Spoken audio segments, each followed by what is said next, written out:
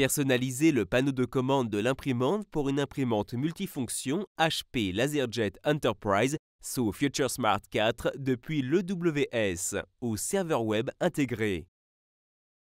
Sur l'écran d'accueil du panneau de commande de l'imprimante, touchez l'icône Information, puis touchez Ethernet. Écrivez le nom de l'adresse IP ou du nom d'hôte de l'imprimante ou touchez l'icône Imprimer. Sur un ordinateur ou un périphérique connecté au même réseau que l'imprimante, ouvrez un navigateur web, puis saisissez l'adresse IP de l'imprimante ou saisissez http et le nom d'hôte.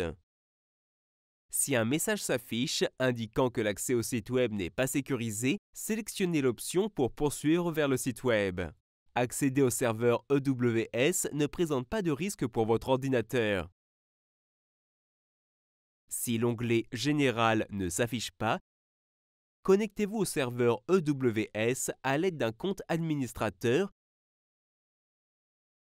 puis cliquez sur l'onglet Général.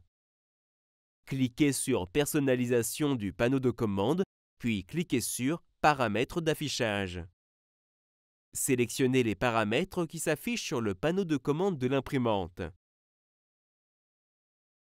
Sous Délai d'inactivité, saisissez le nombre de secondes pendant lesquelles le panneau de commande reste inactif avant de s'éteindre. Sous Avertissement effaçable et Événement continuable, cliquez sur la liste déroulante et choisissez vos options. Cliquez sur Appliquer pour enregistrer les paramètres d'affichage. Dans la colonne de gauche, cliquez sur Langue du panneau de commande et Disposition du clavier. Sélectionnez la langue du panneau de commande et la disposition du clavier par défaut.